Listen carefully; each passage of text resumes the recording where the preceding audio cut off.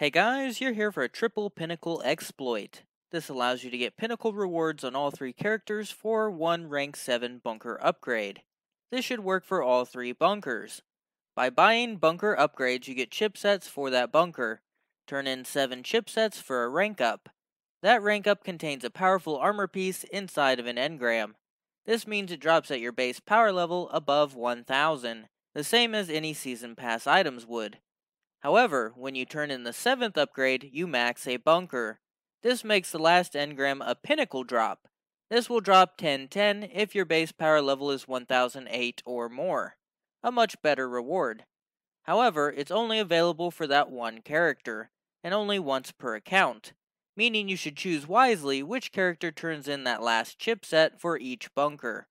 There is an exploit to give pinnacles to all three characters from this upgrade. This was found by Feinin and Tej of the War Council. To do this, you must first own all of the upgrades for the bunker. You want 14 or 21 chipsets in your inventory for that bunker, 7 for each pinnacle you want. You also want to have 2 or 3 characters. You need to turn in 7 chipsets on one character, but do not collect the engram. You will notice it's a regular powerful drop. Leave it in the bunker. Then go to your second character. Turn in 7 chipsets. Do not pick up the engram. Then go to your third character. Turn in 7 chipsets. This will give you an acknowledgement that you've reached max rank. Accept that prompt. That will make all engrams across all three characters a pinnacle reward. Then you can go pick it up on all three characters. Normally this would just make the current character have a pinnacle reward. However, you still had two to pick up on other characters, so they were also affected by this buff. Essentially giving you three pinnacles instead of one, or two pinnacles if you only had 14 chipsets. There is a current bug right now that you should know about. If you do not pick up your pinnacle engrams before weekly reset, they will turn into regular powerful ones.